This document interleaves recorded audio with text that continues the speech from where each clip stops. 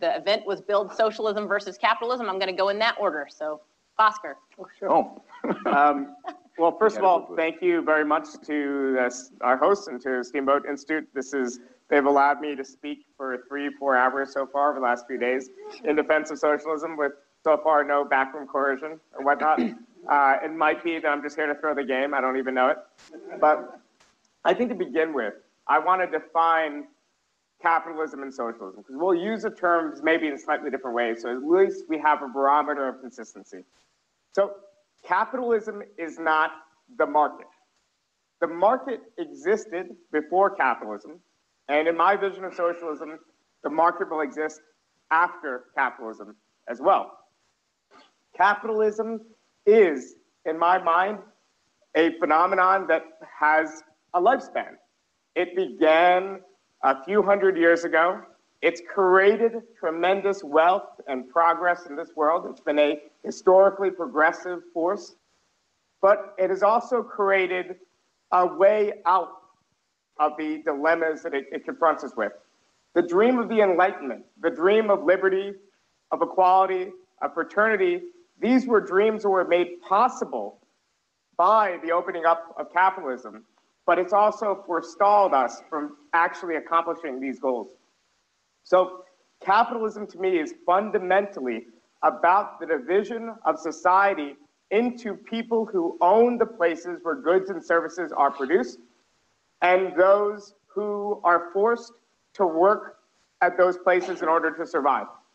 Of course, are they forced by coercion the same way uh, a slave is, is forced to work? No. But it's a contract signed under duress, under a work or starve bargain. And it's a contract that I think we could go beyond. So for me, the, at the minimum, what socialism means is establishing a situation where we can guarantee the basics of life. We could guarantee everyone's right to basic education. We could guarantee their right to have access to housing, access to nutrition, access to health care, and the other fundamental building blocks of life, not so that we're taking away their power or autonomy of choice, but so that they could reach their potential, so that there we could enhance their choice. So when we talk about coercion, when we talk about the erosion of private rights, often we assume that this means by nature an erosion of personal autonomy and personal rights.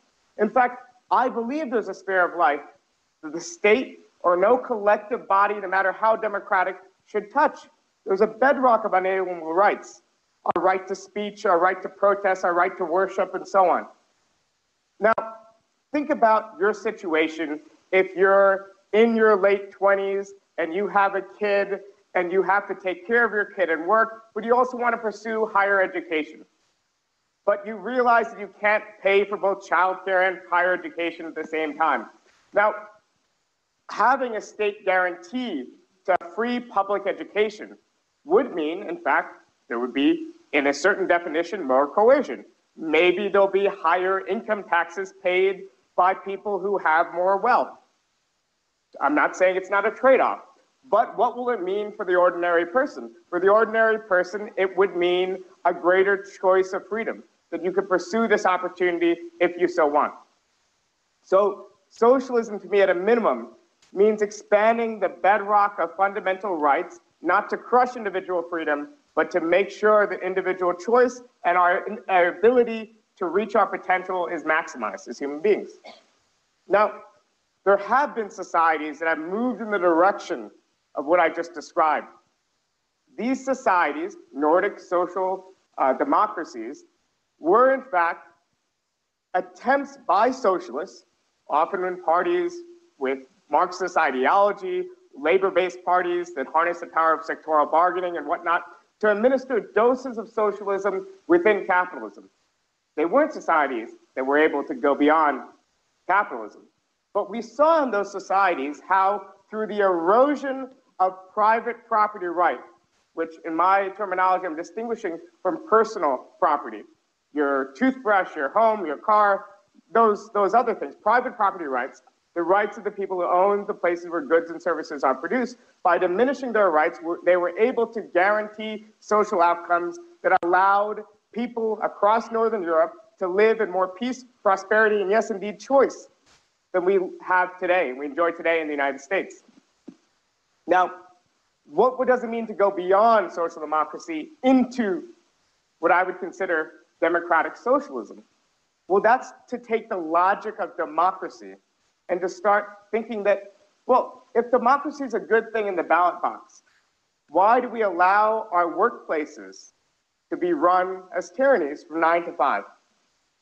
Now, in the old socialist jargon, in our propaganda, you might call capitalist parasites or leeches, you know, labor's creating all the wealth, and there's a few people who, just by virtue of ownership, are taking all the wealth.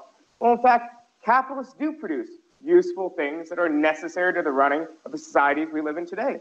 Entrepreneurial risk to create the places where new goods and services are produced, for example. Their own abilities as managers and conveners of production. My argument is not that these progressive functions do not exist. My argument is that workers collectively can take on these functions by electing their own managements, by deciding on what terms their divisional labor will take place. Will this mean there will be constant democracy every single day with every single decision? No, not at all. You know, we live in societies largely governed by representative democracies. In big firms, you could elect the management to terms, and you could have a hierarchy that might be necessary in a society with a complex division of labor to exist, but to be held to democratic account and transparency. And as far as incentives, this sphere, beyond this bedrock of decommodified social rights, in which, yes, the market would be eroded, this sphere could indeed be a place where there could be competition and firm failure. I don't think you could have a functioning socialism without firm failure, which solves both incentive problems and calculation problems.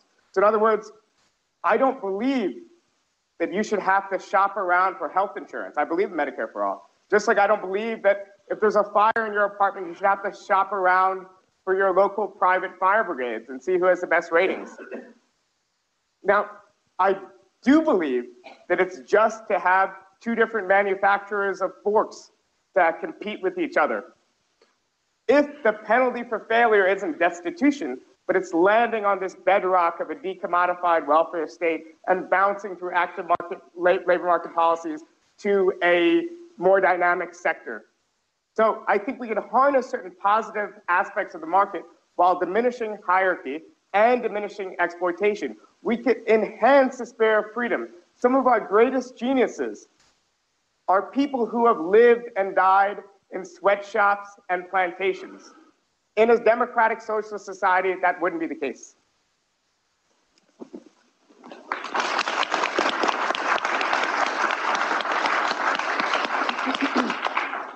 So Bhaskar presents a image of socialism that is very appealing and pleasant and nice, and we all vote and we make the CEO the CEO, and periodically we replace him.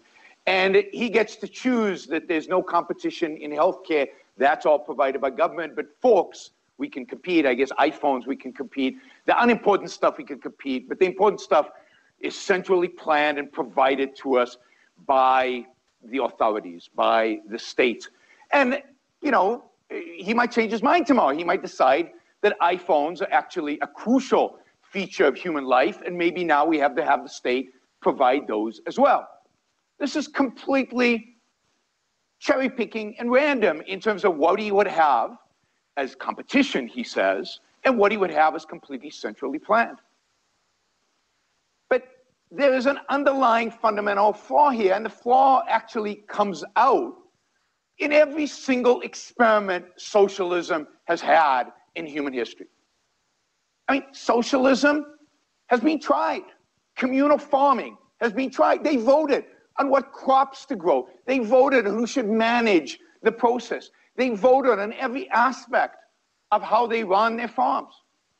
And the result was starvation. It's not funny, it's horrific because people died. Whether it's 60 million in China, 20 million in Ukraine, Now, who knows how many people in Venezuela? Collectivizing even a simple industry like farming. And notice that farming, we want competition. Well, why? Because we've seen it fails. Well, what's going to happen when we socialize healthcare and that fails? And people die. Oh, then we'll privatize it again. These are experiments that are based on a fundamental flaw. And the fundamental flaw is the idea that we should organize society not to preserve the individual's right to live his life as he sees fit, not to preserve the ability of individuals to pursue their happiness, but to organize society around the principle that the individual is just a cog. Individual doesn't matter. We can vote his rights away anytime. As long as he sacrifices to the group, to whatever the group wants, to whatever the group votes on on any given day, the individual doesn't matter. We can talk a good game about we want the individuals to prosper of socialism, but we don't really care about the individual. It is the voter, which means the majority, that counts for everything.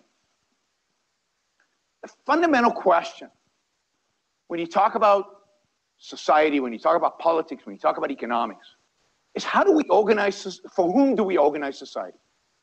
Do we organize society on the principle that what matters is the group, what matters is the tribe, what matters is the collective? And the individual is just there to serve that group, to serve that collective.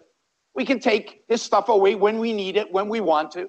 We can redistribute it. We can tell him what his job should be when we want to. We can leave him free when we want to, but enslave him when we want to. Which is the social system we as human beings, by the way, have chosen for 99% of our history. For 99% of our history, individuals didn't matter.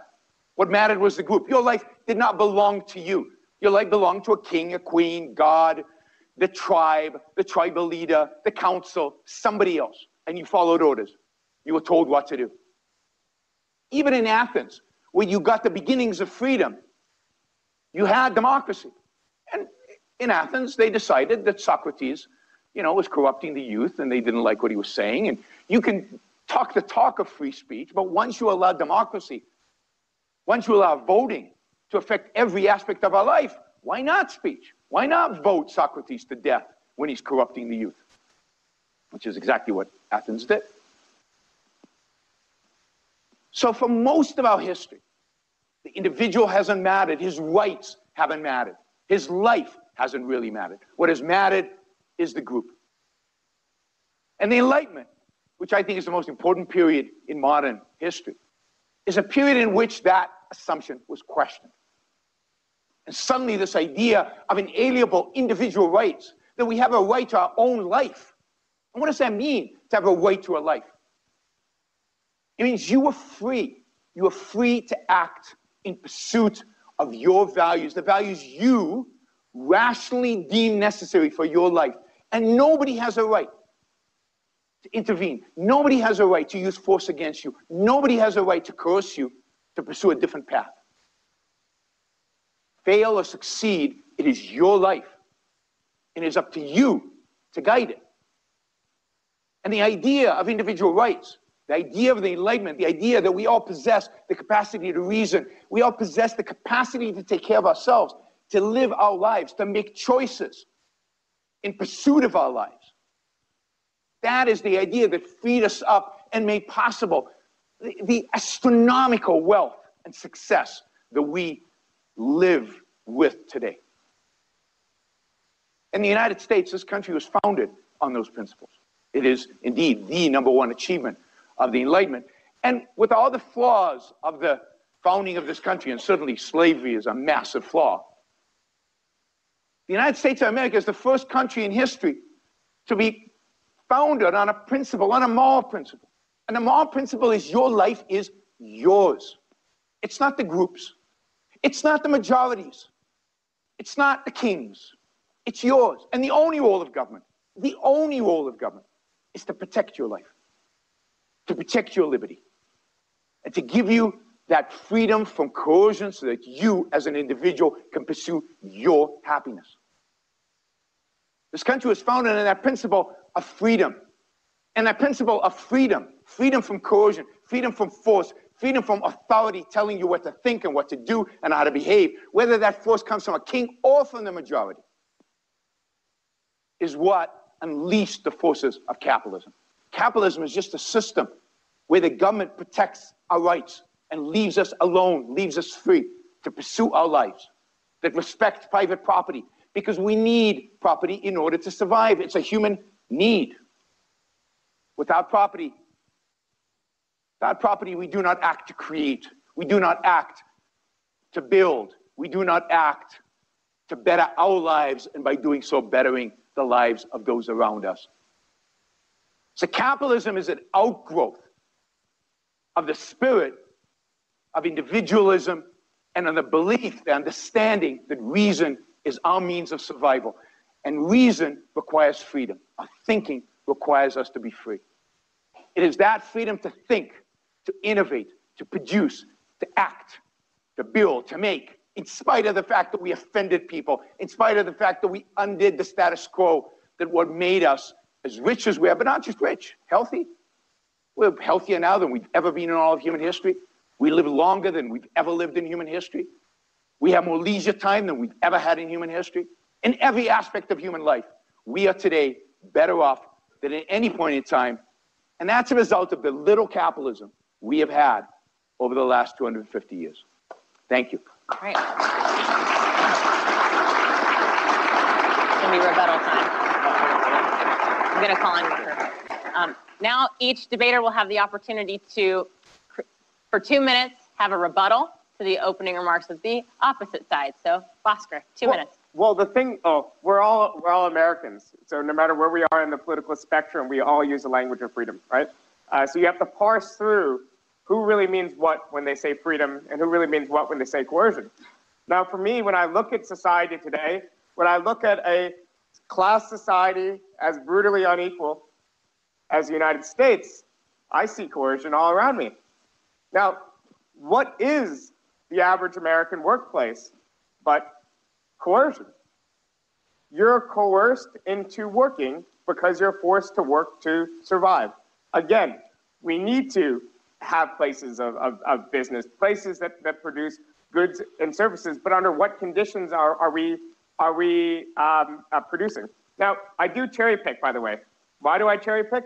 Because my ideology isn't an ideology that was just written down in the 19th century and that I've followed through to the T. It's an ideology that's been built on the experience of watching what happens in successful countries across Europe that developed welfare states that have produced better social outcomes than what we have today. And my counter to what he's presenting as his vision, which is essentially the society that we lived in in the 19th century. So this is the two contrasting visions. I'm not here defending 20th century visions of authoritarian communism, but he is defending a totally unregulated system that gave us child labor, that gave us no recourse from the collective, and it gave us instead the petty tyrannies and coercions of our boss. Instead, what I want to do is unleash the creative power within every single American, with every single citizen and worker to contribute more deeply into their society, to actually take true ownership stake. Instead of getting paid an hourly wage, get a dividend from your firm. Take part in the governance of your firm. That's what I want to extend democracy to not live in a society where just by accidents of birth, our life outcomes are radically determined. Yaron? So, I mean,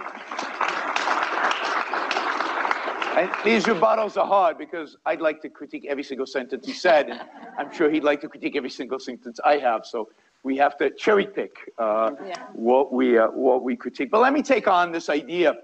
Uh, well, let me just say, I, I mean, the idea that capitalism created child labor is a little funny. Uh, what did children do before there was capitalism? Work or starve. Those were only two options. They worked on the farm or they starved. They usually did both, work on the farm and starve. Um, but that's history. That, that, that you can go and look it up. No children got a education before capitalism, or very few children got an education before capitalism. I, this idea that the choices you face, I don't know uh, how many of you students here, you're going to graduate soon, you're going to go out into the workforce, and you're going to go to an employer and they're going to offer you a salary and you're going to say, you know, I have to sign the contract because if I don't sign the contract, I'm going to starve. So this is coercion. That's really what you're going to face? Not in the world in which we live, not in the world of abundance that capitalism created. You have multiple opportunities to find jobs. You play your employers off of each other, particularly if you go to Silicon Valley. The employees there become masters at this. You have many choices. That's exactly what capitalism creates. It creates the choices that you have. And it's the fact that it is a choice. Before capitalism, your only choice was to starve or to grow your own food. You can still go and grow your own food. Indeed, you don't have to be an employee. You can start your own business. You want employee owned companies? Great, start one. Capitalism doesn't prevent you from starting an employee owned business. It just turns out that those businesses don't do very well. They can't compete, they lose. So even voluntary, voluntary uh, attempts at socialism, at this idea of to each according to, from each according to his ability, to each according to the need, fail. And if you want an example of that, ask me about the Israeli kibbutz. All right, let's get started with some, uh, yes. I've got some discussion questions for the two debaters. And after we talk about socialism and capitalism for a while, we're going to ask the audience for your questions. So be thinking of those. If I don't cover it, I'm sure I won't in just 20 minutes of discussion. Um, we could be here all night, but I'm going to turn the, the questions over to you after I ask a few. My first question is for Yaron. So why not do as Bhaskar is suggesting and simply move towards what the Nordic countries are doing with more generous welfare programs and you know higher taxes, but it seems like a pretty straightforward trade-off. Well, because it's a miserable trade-off, and the Nordic countries are not a model for anything.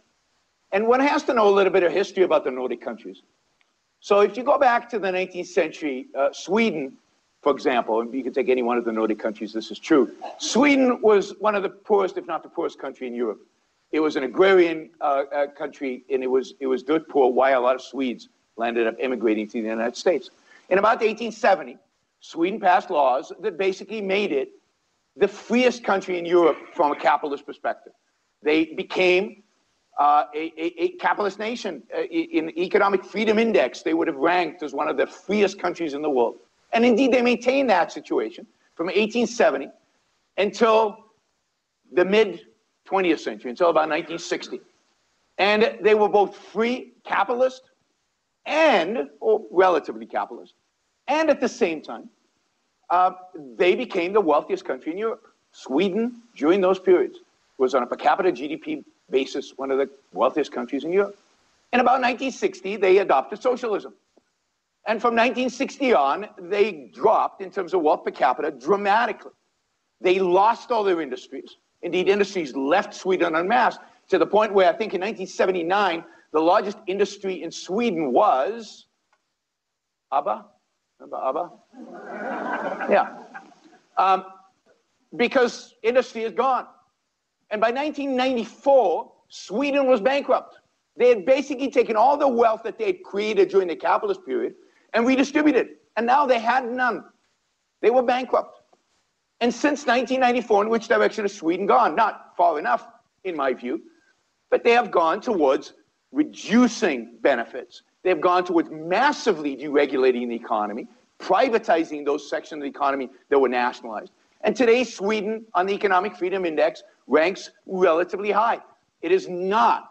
And, and it, you know, when, when uh, Bernie Sanders uh, a few years ago said, uh, I, I want socialism like Denmark, it was the Prime Minister of Denmark who came out and said, We're not socialists. There's no socialism in Scandinavia. Their markets are free, they are less regulated than we are. Now, they're not capitalist. But then America's not capitalist either. We were capitalist a long time ago, and yes, I'd love to answer a question about the 19th century. Uh, and, and, but we're not, we're not free anymore. We're mixed economies. Sweden is mixed. They redistribute more, but they regulate less than we do. We regulate more, and we redistribute less.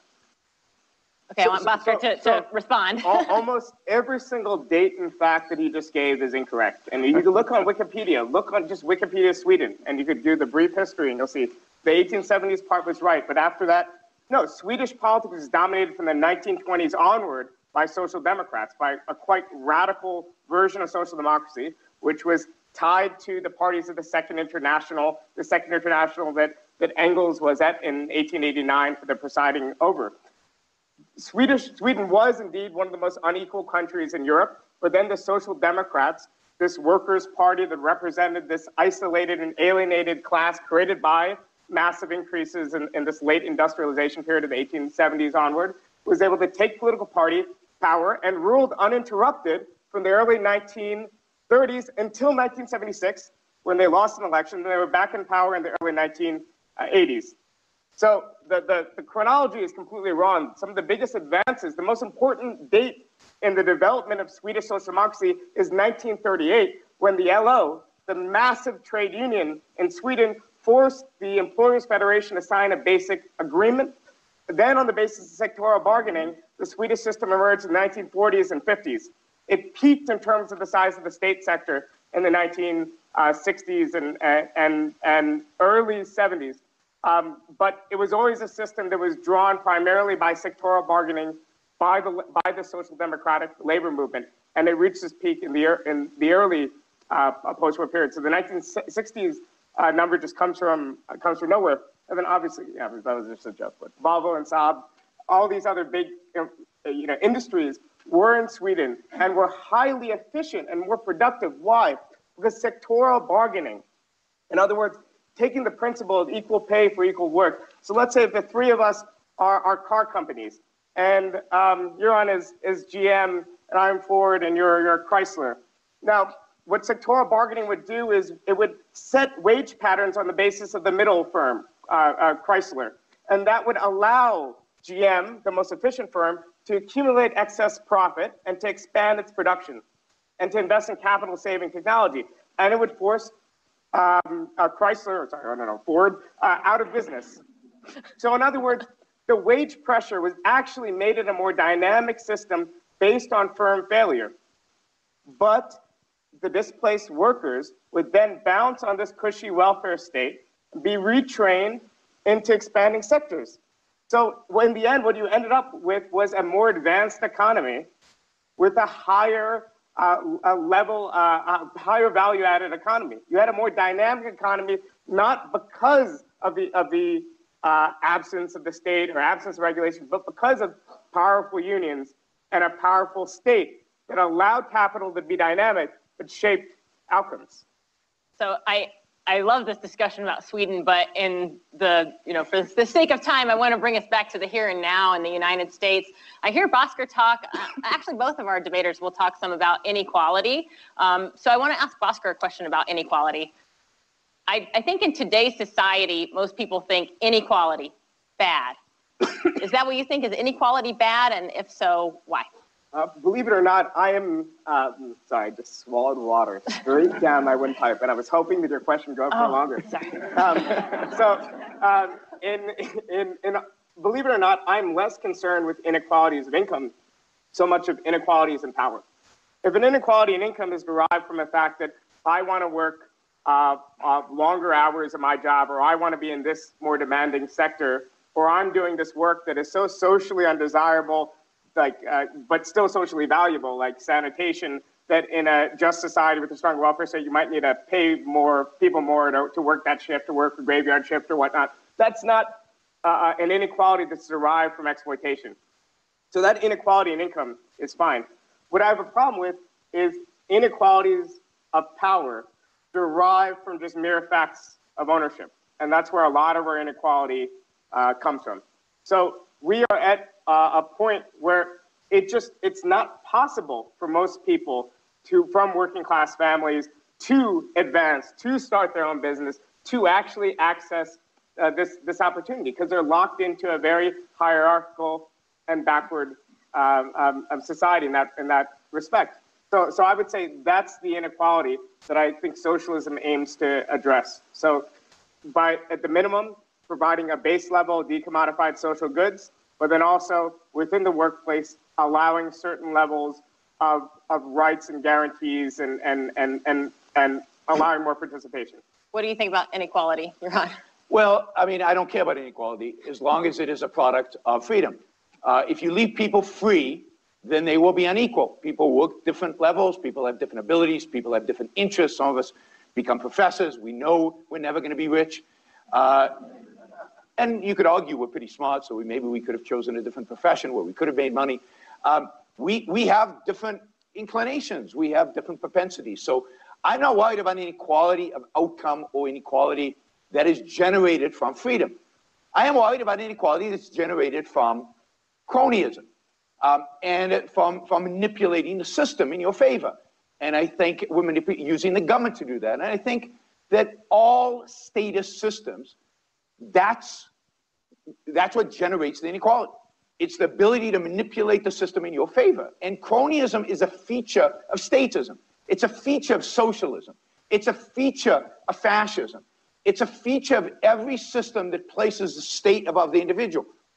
Uh, in capitalism, my capitalism, the kind of capitalism, I think the only kind of capitalism that should exist, there is a complete separation between state and economics. The state doesn't get involved in economics, it doesn't regulate, it doesn't control. So there's no lobbying, there's no power seeking because the state has no power over business. It's only because the state is so involved. And the bigger the state, the more involved the state, the more unlimited the state, the more lobbying happens. But notice also about the inequality. Bhaskar talks about socially this kind of jobs and socially that kind of jobs. How do you measure these things? What's socially acceptable job and what's a socially unacceptable job? Who, who gets to decide these things? We vote, or we nominate a local dictator to decide what that is going to be. Again, disastrous. And at the end of the day, the people who are really unequal from an income and a, and a, and a uh, wealth perspective are the people that are not mentioned the entrepreneurs, the builders, the creators, the makers of the modern world, the businessmen who have made this country, but the West, everywhere, the people who started Volvo, the people who started these, uh, you know, Apple and, and so on. It's the entrepreneurs that are the greatest benefactors of the human race, more benefactors than any philanthropist, greater benefactors than any politician, greater benefactors than any military leader. These are the people that have built the wealth that we all enjoy, all of us enjoy, including those who are relatively poor. Everybody enjoys the benefits of the great wealth created by business in this country. And one of the great tragedies is how we all treat businessmen, but particularly how the statists, the socialists, the interventionists view businessmen as dispensable. We, we, anybody could do their job. We just vote somebody to replace them. Bhaskar, I want to ask you about, yes. Um, I want to ask you because the, the way the two of you are describing the relationship between, you know, to use shorthand, the employer and the employee, or the person who owns the capital and the person who does the wage labor, you're describing these relationships very differently. You know, Yaron says the person who creates, um, you know, to use a, a trite expression, a rising tide lifts all boats. And when he creates, then the rest of society benefits because of this free exchange. And Bhaskar's description sounds more like a tug of war. And I don't want to describe that inaccurately, but what do you think about the idea that a rising tide lifts all boats? Is it not possible that in a free market society or in a capitalistic system, when someone creates something and there's an exchange, then you know you, you said capitalism's good or has been good in the past because it's brought all this prosperity, but would it continue to bring prosperity if people were, you know, if, if the employee employer relationship was one where uh, the employer was creating for the good of society? Well, I don't want the employer to create for the good of society. So, begin with, obviously, economic exchange and production is not a zero sum game. New wealth is being created. Otherwise, you know, what, what I said at the beginning of that sentence wouldn't, wouldn't apply. Now, in my description of what I, what I tried to lay out was a society in which worker controlled firms were producing for production in the interest of profit maximization in a regulated economy. So they're not producing for the good of society. Um, and again, in this in this analogy of market market exchange, it for most consumer goods, you could have competition, have firm failures, have people who might not be able to access some consumer goods at certain moments, and that would be fine. For other goods, that would be a ridiculous proposition. I think it's ridiculous that someone who needs to see a doctor who needs to have access to insulin doesn't have access to insulin or needs to cross the border to Canada to get access to affordable insulin. I mean, that's, that's the, the argument. I, and I think that in a different sort of society, people will be more compelled to, to uh, contribute to the direction of their firms, to work harder because they'll be more incentivized to do so. They'll get uh, a larger share of, of the, the, the proceeds of, of their, their firms. Uh, and, and, I, and I do think that as a society as a whole, as we push ourselves in the direction of increasing our productivity in this different framework, we'll be making different calculations. So right now, if there's a new sort of technology that's going to double your average worker productivity, the way our system has been constructed, especially since unions have been decimated in this country and abroad, our wage increases are not keeping up with productivity increases. In a different sort of society, maybe workers would decide to make a trade off. And they'll be able to say, well, in fact, even though in a capitalist firm the goal is maximization of total profits, because in our firm the goal is maximization of profit per uh, worker um, owner, then maybe we shouldn't, we won't do this particular expansion, or we'll decide to cut our hours back instead. Because the key is to have both voice within the workplace, but the ability to exit work. And if someone can form a union even within a capital society and, and negotiate a new wage, uh, uh, a new you know conditions of work, and go from working 45 hours to 35 hours, that's work time that we spend with our families, building our communities, in our civic groups, our church groups, whatever, whatever else. That to me is freedom as well, and that's one of our, our goals of a just society. So since you mentioned it, you mentioned healthcare. I have to ask a question about healthcare. Can I, can I, oh, can go, I answer that Go question? ahead and answer about wages. So, so first, you know, it, it seems like uh, people have picked up on this idea that you repeat something often enough, everybody accepts it as true. Let, let, let's be clear, and I encourage everybody to go to the latest economic literature and look this up. This idea that wages and productivity have separated is, be, is nonsense. I'll, I'll be nice. It's complete nonsense. When you adjust correctly for the different factors, including how we adjust inflation, how we, adjust, I mean, I won't bore you with the economics of it. Wages have kept up with productivity. And this is a, a, a law of economics. It's like gravity. It doesn't work otherwise. It can't work otherwise. So it's just not true that this gap has increased. I know they keep showing the same graph over and over again, but nobody talks about all the critiques in the economic literature of the graph showing that it's just not right. But let me let me take this this employer employee relationship. So how do firms get started, right? How do firms uh, actually uh, created? Well, some of you might be entrepreneurs or intend to be entrepreneurs. Usually, it takes somebody with a great idea, with an idea. They have an idea, and then they go around and they have to invest. They have to raise capital. They have to build plant and equipment, and it's usually one guy, maybe a, a small team of three or four people, and they have this idea. And they're not getting paid in the meantime. They're raising capital. They're building a plant and equipment. And then they have the idea of a product and they hire people. Now, they hire people and they promise to pay them. Now, they don't profits. There's not a dollar of profits. And sometimes this goes on for 10, 15 years where there are no profits. And the workers get paid. Some, sometimes the workers are biotech scientists. Workers doesn't mean manual labor. But the fact is, those workers work, get paid for 10 years. And the people who provided the capital, the entrepreneur who's risking everything, they don't get paid. They've got stock. One day, if the company becomes profitable, they'll get something back, a lot back, hopefully. But how many of those companies actually become profitable? If you go to Silicon Valley, how many of the startups actually become profitable? Well, of the ones funded by venture capital, six go under. Three do okay, one becomes a mega hit. The workers, in the meantime, all got paid. Every single one of them, by the way, in Silicon Valley, in many modern techno- technology companies, workers get stocks.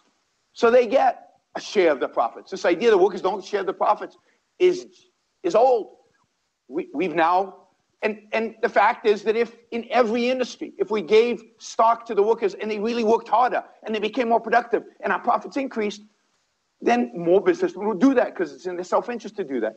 So some industries, it's appropriate to give workers a share of the profits. Other industries, it doesn't indeed motivate them to work harder and therefore become more productive. We don't. So the beauty of the market is you create different models for different industries in different circumstances. And what works survive, and what doesn't work doesn't survive.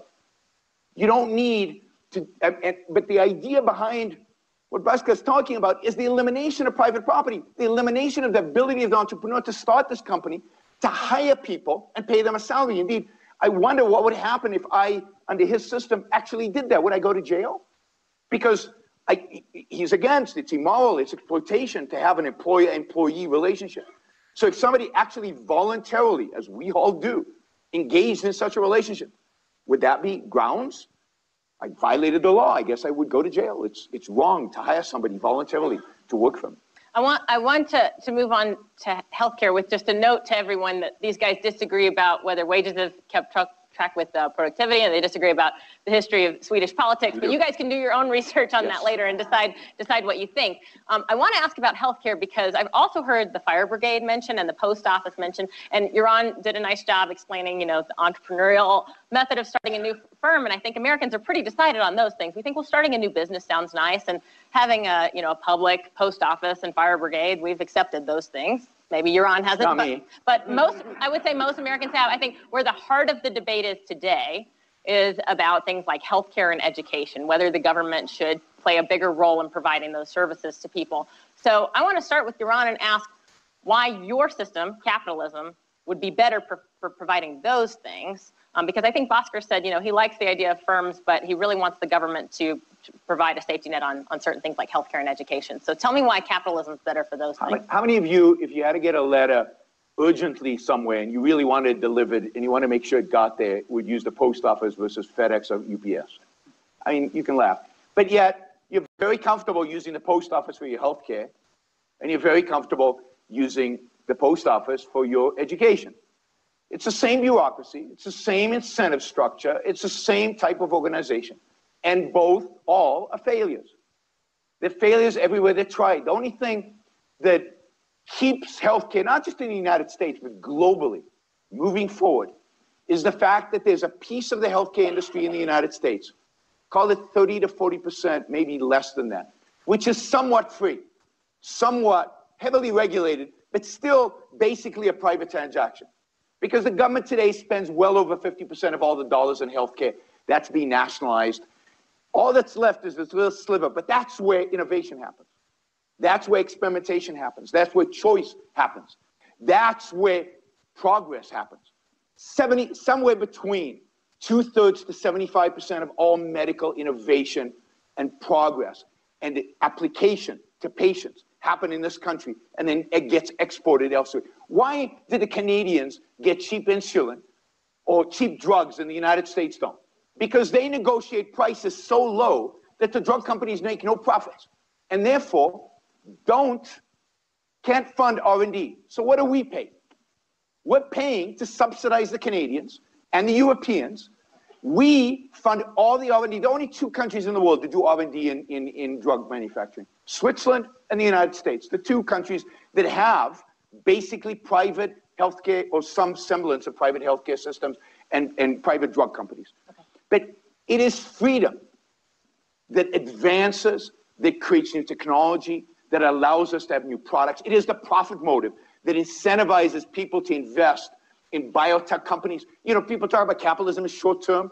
If you ever lived in Silicon Valley, capitalism is not short term. Capitalism is about the long term. Investing in a biotech company is a long term, highly risky investment that almost nobody in their right mind would do. You're right. I'm going to let Bhaskar so, respond just, about healthcare. So that's why I think healthcare is way too important to give to the government, and you want to preserve all those incentives all those precious things that freedom allows. I'm going to let Bhaskar respond on healthcare, and then we're going to go to audience Q&A after he talks about healthcare. So have your questions ready. Uh, I believe we're doing mics on either side of the room. I think one in the middle. I'm sorry, one in the middle. Let's come together, all in the middle. Um, so we're going to form a line, very, you know, reasonably, respectfully, and orderly line. Um, so, Bhaskar, healthcare. So, on the issue of healthcare, I mean, this is this is a great place for the terrain to shift for a socialist because there's all this litany of crimes and abuses and tyrannies that have happened in the name of socialism the, the, the 20th century. All these failures, but the National Health Service isn't one of them. and the type of health insurance that exists in almost every major country on earth isn't one of them either. The case has been made so fundamentally that even center right parties in Europe have given up the causes. And they're some of the most fervent defenders of their welfare system when it comes to health insurance. Americans pay more, and as a share of our GDP, we pay more for worse outcomes. A lot of our extra dollars are being spent in billing.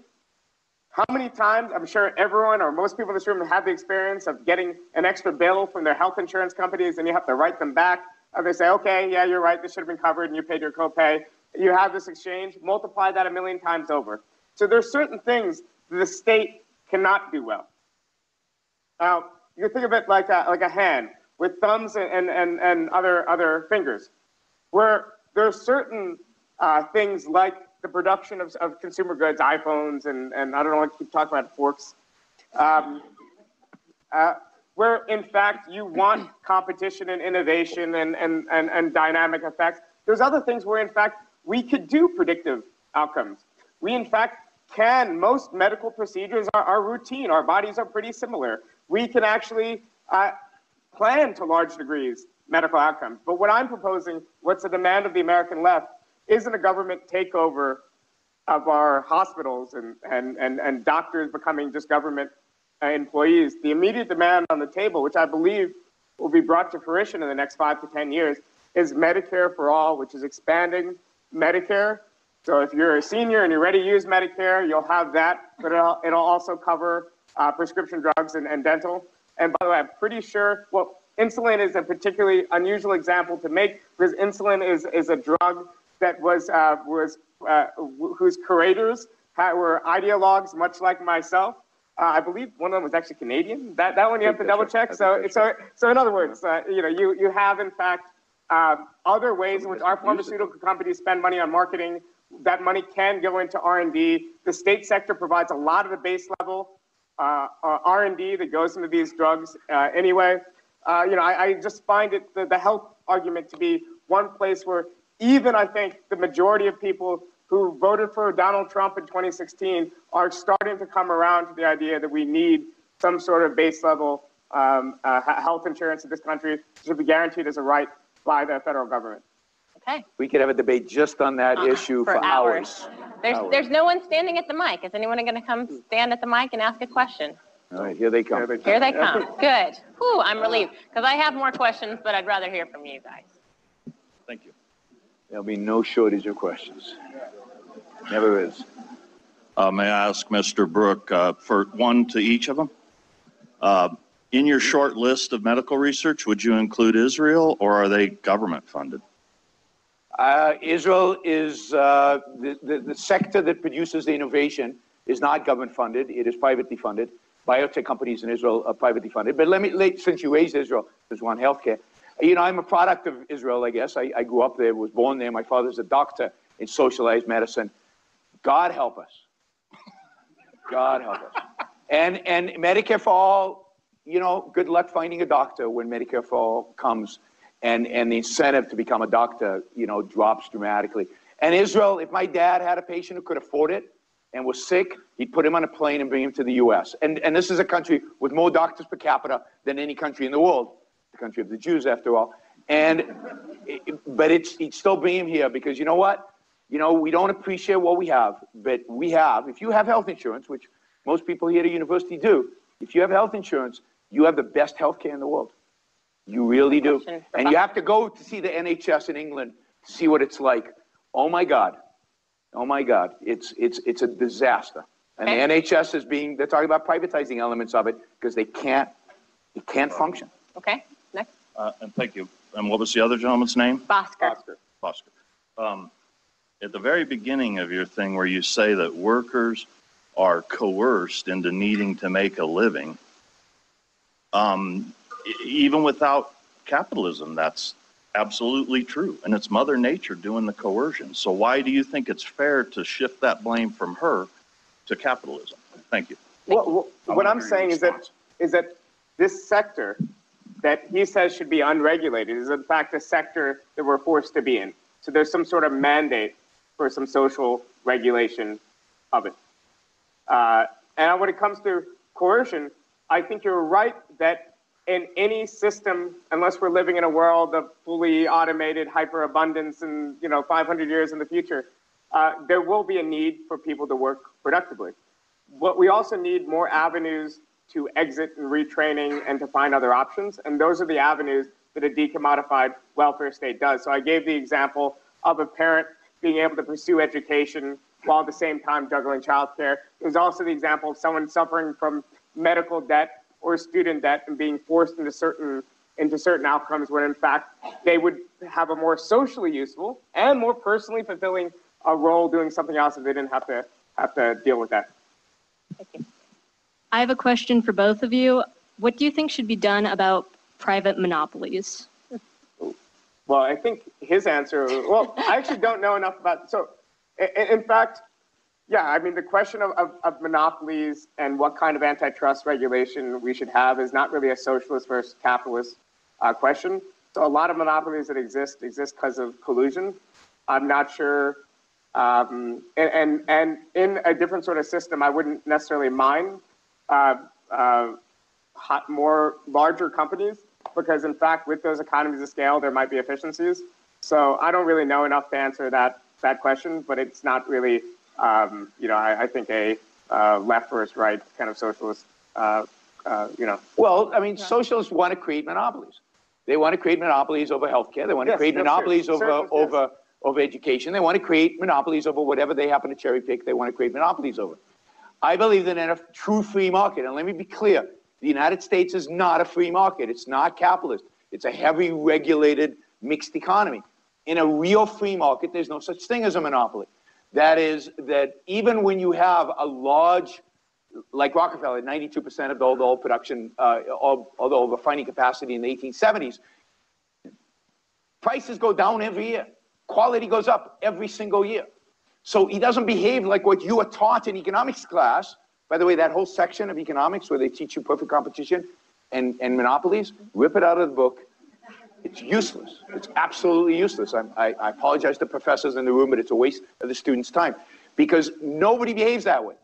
And when you look at, at companies, right, what they try to do is they're trying to maximize their profitability over the long term. And to do that, you lower prices, you raise you raise quality, and every so-called monopolist in American history has not behaved like the textbook said they would behave. So I, I, you know, who competed Rockefeller out of the business of lighting? Edison did. Who would have thought of that? It's a, it's a, it's a replacement product, right? Because kerosene was replaced by electricity. Markets, are, are, are, I can't overestimate how beautiful they are in that they produce results that are unimaginable in advance to central planners or to anybody else. Thank you. yes, um, I'd like for you, sir. I, I can't, can't remember. Bhaskar. Bhaskar. Please expand higher taxes. And please, could you make a counter offer as far as what you think higher taxes are? No one quantifies what are higher taxes. And I don't mean a rate, I mean a percentage. Are taxes going to go up 10%, 20%, 30%? Because if you say, oh, well, your tax rate will go up three or 4%, as a percentage of what? If you're paying 50, 50%, your taxes go up 5%. Do you see what I'm saying? Well, okay, so. What rate will taxes go up and will they be as progressive, progressive as they are now? So, right now, let's say if you talk about the immediate demands of a program like uh, Medicare for all, a large segment of the savings will be found in administrative savings and whatnot. But you can't have me cost no administrative savings from cutting billing departments and, and whatnot. I mean, this is this is and creating a bureaucracy. You already have a bureaucracy and it exists. Yeah, so and by the way, most, most he's doing a disservice to most conservatives because most conservatives agree there's such a thing as certain. I am natural, not a conservative. Well, most people on the right would agree the there's right. such a thing as as a as a natural monopoly in certain sectors that in fact it makes sense to have a, a, state monopoly on, on, on, on roads, uh, uh, for instance, and so on. But my primary emphasis is about uh, power. Uh, it is about kind of the, the question of, of how we transition from a, an economy driven by private capitalists and turning it into an economy driven by worker owners. But So- what is the so- taxes? so- What, how much is it gonna So, cost it doesn't so matter. a worker, a worker-owned firm could in fact have a, a flat tax system of 20%. You have to, you have to decide, well, how big is the country, the hypothetical country you're talking about? How young is the population? What social services? If the country is older, then in fact, these firms might be, need to be taxed at a higher rate. I mean, this is, I mean, I mean. But who pays corporate All right, tax? that's the- We pay corporate tax. The, the question's well taken. Let's hear So- Yaron's so- perspective on taxes. So it's not relevant here because under his system, there's no wealth being created. There's nothing to tax. It's true. We become much, much poorer. I'm not, I'm not joking. We become much, much poorer. The tax rate in Venezuela doesn't matter. It doesn't matter what the tax rate is. Nobody has anything to pay the taxes with. Now, the tax rate in some way like Sweden is excess of 50%, right? But it's less progressive than the United States. Indeed, Sweden is much more, it is much less progressive than the US because everybody pays taxes, where in the US, there's a vast number of people who don't pay any taxes. But the, the, the, the, the point really is that when you have a system that is, when you take away the incentive, when you take away capitalism, when you take away capitalists, when you take away the, the, the, the, the corporation, the business, the creation, you're not going to be left with much. We're not going to be left with much. So there's nothing to, to redistribute. There's nothing out there. Next question. I would like to hear each of you better distinguish your position from just modern welfare statism, especially because the socialist is not really defending a classical Marxist view of socialism. So what do you think, the socialists, what do you think we're gonna, we would get by moving beyond a welfare state uh, ba- based on, especially since people are free to set up whatever kind of corporation, corporate structure they want today. And the capitalist is a welfare state part of capitalism, and whether or not it is, do you want to move beyond that in some way? So, so fundamentally, the socialist ideological part of what I'm saying is at a normative level, I think that hierarchy and exploitation are wrong and should be diminished to whatever extent is possible. Now, we know that social democracy works and functions. Now, we do not know whether we could go beyond social democracy into deeper forms of industrial and economic democracy. So we start from the base level of social democracy, and from that point, we try to create a society in which we take certain vital functions of capitalists in a capitalist society and bring those functions to worker owners. And in fact, if that's successful and that works, and people decide to stick with it. So in the case of constructing social democracy, it took winning consecutive elections, sometimes in coalitions, sometimes with outright majorities from the 1930s until the mid 1970s to construct social democracy. By the way, the crisis in 1990 and 1991 and 1994, the financial system in Sweden was created by deregulation and kind of the, the creation of cheap and easy credit and a housing bubble. So it's very similar to our 2008 eight crisis. Um, you know, we would in fact um, be able to live in a society in which there's no distinctions between workers and, and, and owners. There is still going to be distinctions in people's job functions and whatnot.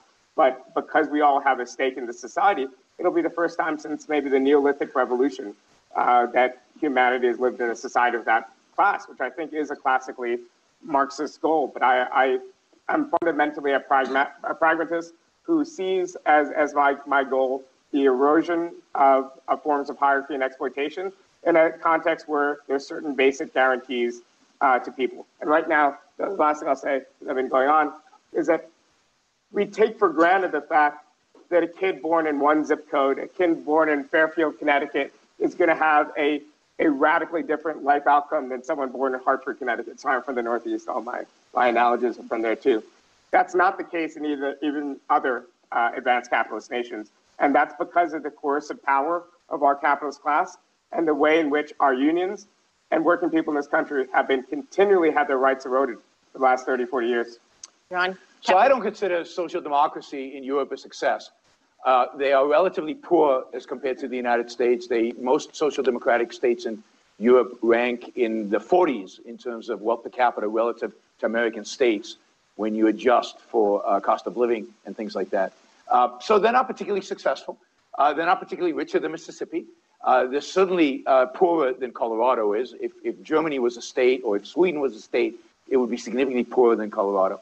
Uh, Swedes and Danes who live in America do far better by every measure than do Swedes and Danes who stayed in Sweden and Denmark. Um, so I, I, I, don't see some amazing model over there. And by the way, most of these European countries have very large, populist, right wing, dangerous political parties that are on the rise because of, to a large extent, because of their frustration with the welfare state. Now, I'm, I'm not on that side. I'm just saying even they are now rejecting the social democratic state. So let's see where this all evolves. I don't think it's going to look pretty in a few years. Uh, in terms of the actual the question to me, uh, as I said, I believe that capitalism represents a complete separation of state from economics, and this is radical. I'm not going to, you know, we'll see, and we'll slowly move there. Uh, I know what works. What works is leaving people free. I know what doesn't work: coercion, force, putting a gun to people's head, and taxes regulations are putting guns to people's heads. So I want freedom, not a little bit, not some, not 80%, 100%. I want a government that all it does is protects us from the use of force by other people and from foreigners and invaders and terrorists and so on.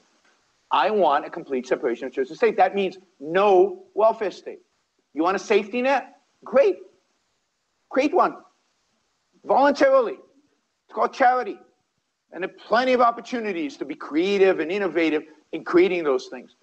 Um, you, you, you know, so I, I, I, believe what holds back education is the fact that it's government run. I think what holds back, I, I mean, imagine, imagine the promise of personalized medicine, of, of actually evaluating your DNA and figuring all that, uh, and figuring out what actually is appropriate for you as an individual. Uh, that is a promise that can only happen under, under capitalism. And it would be tragic if we abandon that path towards, towards being able to live maybe 200 years old, to, to, to really flourish into old age in the name of some socialist utopia of Medicare for all, which would be a disaster for American healthcare system. Okay, I'm. Would you like to uh, skip closing statements and take more questions? Yeah, I mean, I'm, I'm for trying to I, get through as I many got, I questions got as we the, the can. time signal that we need to go to closing arguments, but these. Can we go these over a little time? Generous gentlemen want to answer more questions instead of doing closing arguments. So if that's okay with you guys, there's a long line. I think it's, you know, we're gonna fit more people in. But, but, but for this to work, we will try to give short answers. Try to give shorter But you have to answers. give short questions. All right, short, my best. short questions. Um, to Yaron, you mentioned that uh, we are the healthiest we have ever been at any point in time. However, this is the third consecutive year in America that the life expectancy has gone down, and rates of deaths from preventable diseases such as diabetes are on the rise due to inadequate health care from monetization of the medical industry. Yep. Um, I am Can- can- curious Can I that- skip, because I know that, I know what the question is, right? Sure. So let me, let me say two things. The reason, the reason uh, life expectancy in the U.S. is going down is primarily middle, uh, uh, low middle class white males who are committing suicide and who are because of the opioid epidemic. Uh, that is that you can read the studies. Uh, you know, the economist who wrote that study, I know, and I've read the study. Those are the two causes. Those are the two causes of a declining also gun violence. well, we can talk about gun violence, but, but that is the primary reason because for, for, it, it's only the last three years where this is the case, and it's got to do with the opioid crisis, it's got to do with suicide rates, which are a real problem. Now, the world in which we live right now in America is not my ideal. There are many, many problems in the world we live in today, which I blame on too much statism and too much government. The issue of diabetes has much more to do with our lifestyle and the choices we all make in terms of the amount of sugar we're eating and the amount of carbs we're eating than they do have to do with our medical system. So if you want to be healthy, it's a choice you get to make. My, Well, when, when, when, it, when, it, comes to the question of declining, declining life, life expectancy, well, at least in some of the areas hit hardest by the opioid crisis, which is, which is a contributing factor, these are areas that have seen massive disinvestment from capital. Why? Because it was cheaper and easier to produce elsewhere. Why? Because capital's motive, and I'm saying it should have a different motive, but capital's motive in the, in the way the system is constructed is the maximization of profits. You know, if you are nicer to your employees than your competitor, you're going to get undercut and your competitor is going to expand. And, you know, that's why Walmart's around, but Caldors isn't around. Um, I don't know, Caldor. Is, that another Northeast thing? I don't know. Uh, I don't get out much. I, I don't. I don't um, so, but but what what imagine an economy based on worker-owned firms. You wouldn't have issues of capital flight if, in fact, capital flight means am I going to outsource myself to to China? Am I going to outsource But you believe in competition. No, of course there'll be competition. There'll be firm failure, and there'll be way to So- to move to to. But but I, with a society that has a larger role for medium and long term planning, which should be directed by the state, you know, I, I think you could solve a lot of these issues because something like NAFTA might, in the abstract, have benefited Americans as consumers, but it harmed particularly certain people in certain communities in such a way that there's going to be a backlash, and it's a justified backlash. And the response from the professional middle class and elites of both the Democratic and Republican Party has been, you know, F you, we don't need you. And, and I, I think that's that's one of one of the, the driving issues in, in our society right now. Right, question? So um, Yaron asked a kind of side note question to Bhaskar, which was, um, you know, what happens to the owner who voluntarily arranges a employer-owner relationship with somebody, and they continue to, you know, own the property? In. Does that person go to Yeah, jail? yeah, yeah. So, so I, I think, in other words, in my vision of a just society, there would there would not be wage labor. Do I think under any circumstance that person should be thrown in jail? No. The same way in which if you don't pay your unemployment insurance bill, you get a fine or whatnot. I think for nonviolent crimes, we shouldn't be throwing people in, in jail. I think that we should have uh, a, a state that, that limits its infringements on, on personal uh, autonomy and, and so on. Uh, but obviously, um, my, my main argument about why, if we get to the point where we move beyond social democracy into democratic socialism, be a viable system, it has to be viable because it's popular. You know, if it's not popular, it would be rolled back, it would be defeated as it should be. There's a reason why in the United States of America, all of us are free today. Afterwards, we want to get together and form a monarchist party. We could, we could form a party whose, whose mission is the destruction of the republic and the creation of a monarchy. Uh, we do not do that. And if such a party arose, it would get no popularity. And I think if a society is working a successor system to capitalism, it, it would, uh, uh, rolling it back would not be popular. And if it was, then in fact that system needs to be, needs to be abolished, needs to go away. Right, but so what if somebody refuses, right? What if they, re- you said you fine them, just like, you know, if you don't pay your, your bill or something, but what if they refuse? Well, I mean, there's ways in which you could, property. you could through the fining and therefore someone falling to debt, they wouldn't be able to expand their firm. They wouldn't be able to hire more late wage labor. So there's ways of, of yes, coercion that exists, but that are not physical acts of, of direct coercion that involves you know, imprisonment. Right, thank you. And that any regulated market, which, which is, by the way, any functioning capitalism or a market socialism would, would, would require certain acts of coercion. We just have to figure out where we draw the line for coercion. Any law should have to be democratically passed and have judicial review and so on. This isn't a year zero break. This isn't some sort of leap into the unknown. This is building off the best parts of our society that already exist today. Let's hear from the next questioner. I, I have a question on the side of capitalism. You emphasized freedom a lot along in the same question about inequality. You mentioned that entrepreneurs, including people like in Apple, have their gifts to our society. And I just had a question about how, or more clarification on how that, that freedom applies to the lower class when it comes to taxes. Because you see people like Amazon who makes $11 billion in their 2018 revenue, but don't pay a single dollar in taxes. And that, you know, goes down to the lower class, which, you know, you have a, So, so I get it. Who Yeah. pays corporate taxes? When corporations pay taxes, who pays them? Again, qu- simple question in economics. Consumers and employees. Every single study shows this. It's about 60 to 80% consumers, 20 to 40%. So employees are getting paid less and consumers are paying higher. So the best and the only legitimate corporate tax rate is zero because corporations don't exist. They're just contracts. So the flow, when, when corporate taxes are lowered, and you can see that now, one of the reasons the Fed can print money like crazy is because corporate taxes were cut and, and, and you know, prices are not going up uh, because corporate taxes were cut. And wages are suddenly rising in the last, uh, you know, the last year and a half. That's because of the corporate tax cut. And if they cut it to zero, it's the poor that would benefit the most. The poor would benefit the most from a corporate tax of zero. So I celebrate every time Amazon announces it's not paying taxes. I think that's fantastic. Good for them. I wish I could, well, I have found a way not to do it, to do it as well. I've moved to Puerto Rico. And I encourage everybody to figure out a way not to legally, not to pay taxes. Because when you don't pay taxes, you're actually deploying your capital more productively than I think the government would do it. And you're helping poor people. You're not hurting them. Thank you.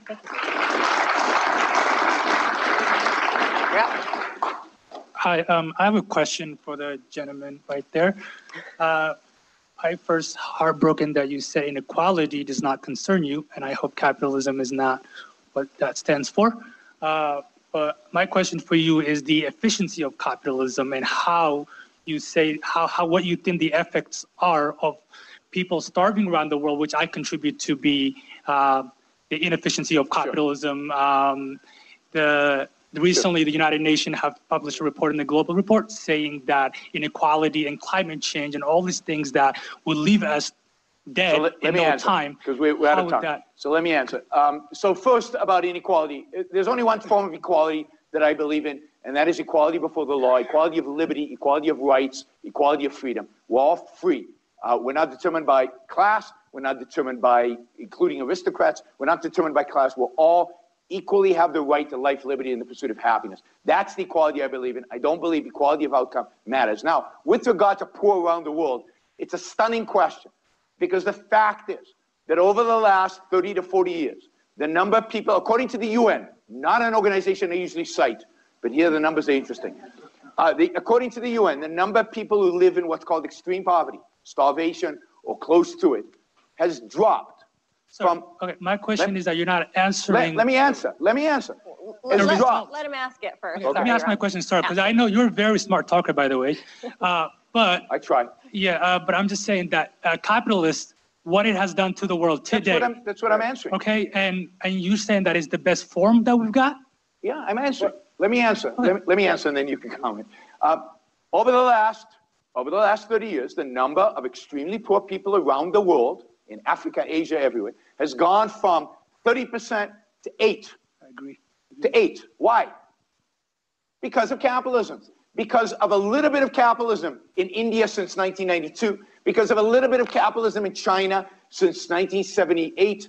Because of a little bit of capitalism in South Korea, in Taiwan, in Hong Kong, in Singapore, in Thailand, in, in Indonesia, and all these places. It is capitalism that has brought these people out of poverty. Only capitalism. Okay, sorry, Ben. Only capitalism brings people So out. I- I would- gets to I- I- I respond would- now. I would say that we should, um, we should distinguish between ills that are born out of capitalism and ills that are born under, under, out of underdevelopment. So in other words, there's an old kind of Marxist cliche, which is the only thing worse than being exploited under capitalism is not being exploited under, under capitalism.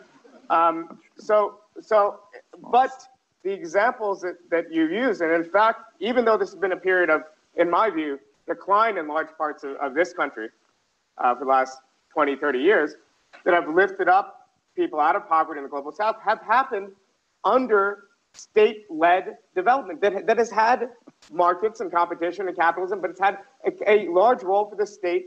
You talk about Taiwan and South Korea had very strong developmental states, very strong states that use carrots and sticks and forms of coercion that I would not, uh, not um, even abide by to, to produce outcomes. In Brazil, the first two terms of the PT government under Lula were tremendous success stories.